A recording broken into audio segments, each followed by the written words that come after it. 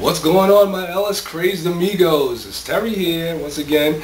I'm here with some more big bang for your buck savings and info.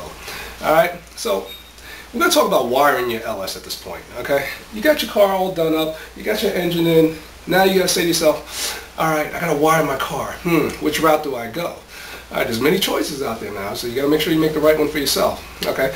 You can try to pin out the harness that comes with the engine or that should come with the engine. You could do that. You can possibly send your harness out and have it repinned. You can do that. Yeah, that's some people have done that. You know, works out pretty good. Or you can buy yourself a brand new harness. Hmm. People have done that. But in the world of 800 to $2,000 wire harnesses, uh, it's kind of pricey.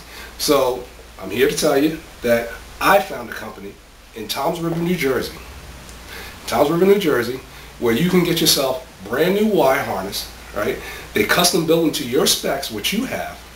And for the price that it would cost for you to send your harness out to get repinned, you can get yourself this brand new harness that I speak of with brand new GM connectors. And here it is right here. Look at this. Look at this harness. It comes with the connectors, everything you need. And these are GM connectors. It also comes with brand new uh, X1 and X2 connectors. They even give you fuse panel. Cool. The company is called PSI Conversions in Toms River, New Jersey. You call John up and you let him know that you're interested in it and the harnesses start somewhere like 500 bucks. This particular harness for this car, 540.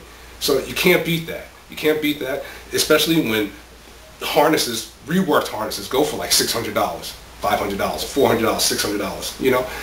Why not get a brand new harness? You know, it, it, it's a no-brainer, all right? But